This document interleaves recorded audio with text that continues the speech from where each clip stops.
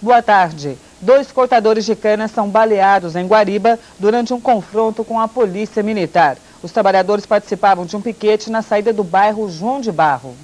O confronto começou por volta de meia-noite e meia, quando quatro ônibus tentavam passar pelo piquete. Os ônibus levavam trabalhadores para a usina Bonfim. A polícia militar foi acionada e enviou uma viatura para o local. Segundo a Polícia Militar, a viatura foi cercada e apedrejada pelos trabalhadores. A polícia reagiu e disparou um tiro para o alto e três em direção aos trabalhadores.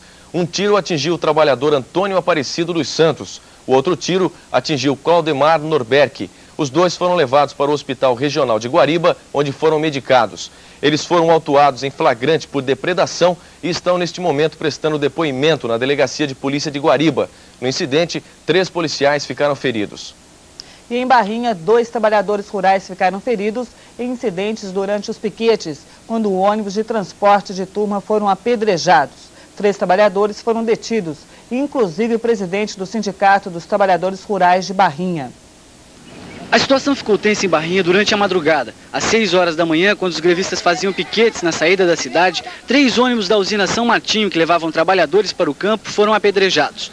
Duas pessoas foram feridas e encaminhadas para o Hospital Regional de Guariba.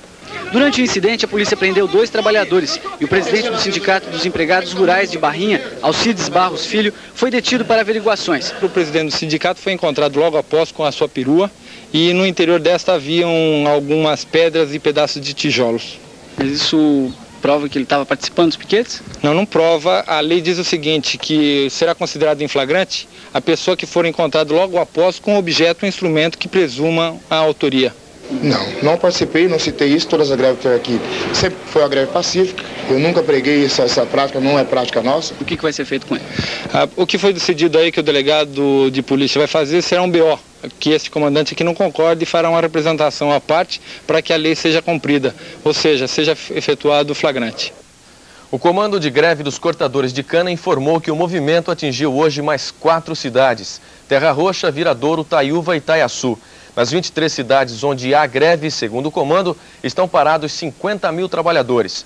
A Polícia Militar afirma que existem 20.600 cortadores em greve em 19 cidades.